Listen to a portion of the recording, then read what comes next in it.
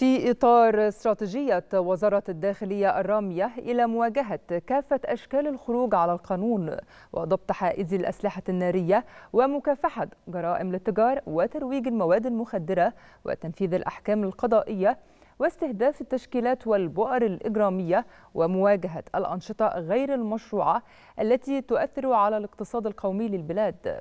أسفرت جهودها خلال أسبوع عن تحقيق النتائج الإيجابية التالية.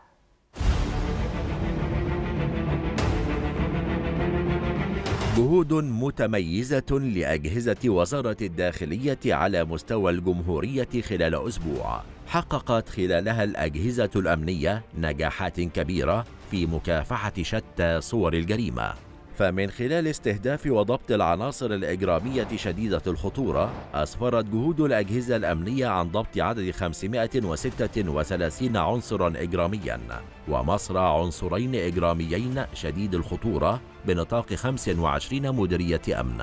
وسابق اتهامهم في العديد من القضايا أبرزها قتل سرقة بالإكراه خطف سلاح مخدرات.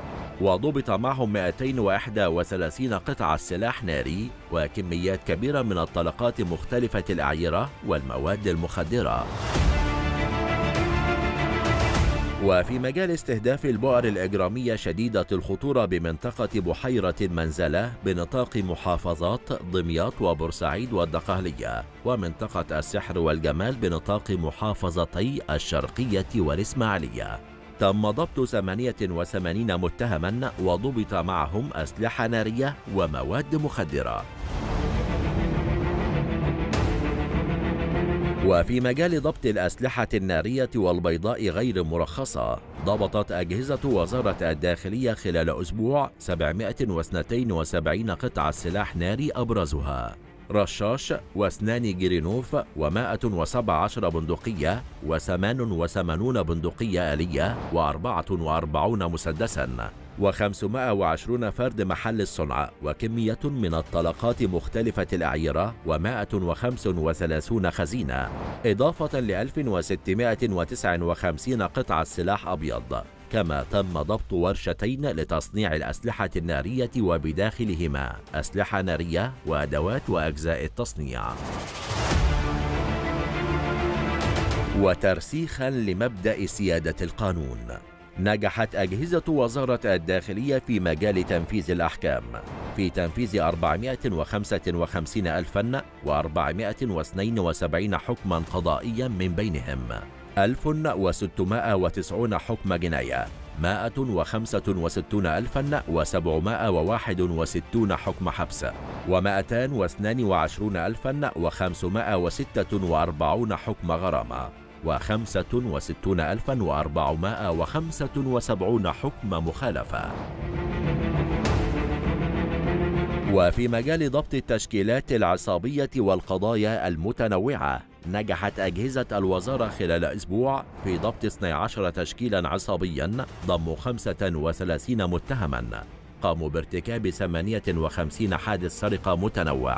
وتم كشف غموض 91 حادث ما بين حريق عمد وقتل وسرقة بالإكراه وانتحال صفة وضبط مرتكبوها بإجمالي 139 متهما.